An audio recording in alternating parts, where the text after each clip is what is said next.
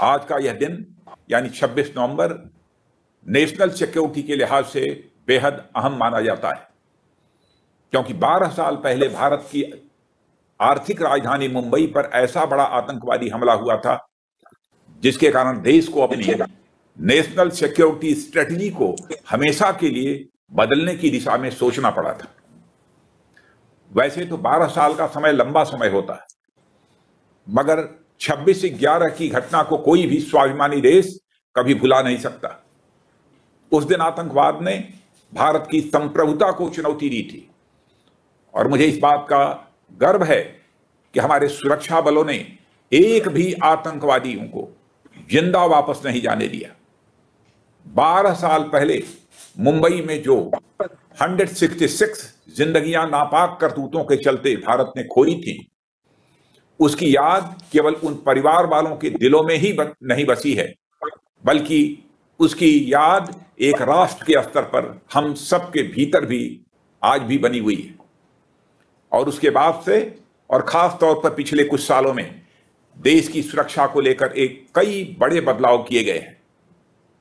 आज देश में नेशनल सिक्योरिटी से जुड़े जो बदलाव हुए हैं, उससे हम सभी देशवासियों को यह विश्वास ज़रूर दिला सकते हैं कि भारत ने अपना इंटरनल और एक्सटर्नल यह सुरक्षा चक्र इतना मज़बूत कर लिया है कि एक और 26 बाई 11 को हिंदुस्तान की धरती पर अंजाम देना अब लगभग नामुमकिन है।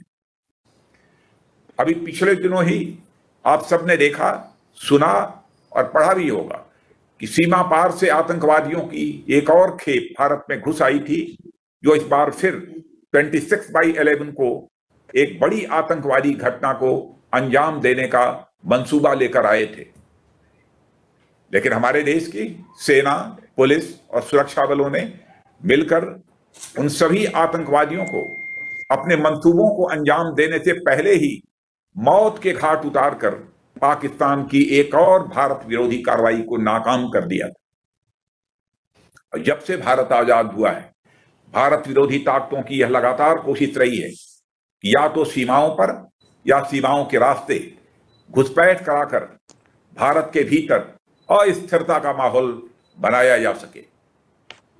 लेकिन मित्रों, पाकिस्तान ने आतंकवाद को लेकर अब सारे हथकंडे अजमा लिए और 1999 में कारगिल युद्ध, दो 2008 में मुंबई हमला, उरी में 2017 का हमला और 2019 में पुलवामा का हमला। यह सब कुछ सीमा पार से प्रायोजित था और इसके पुख्ता सबूत भारत के पास हैं।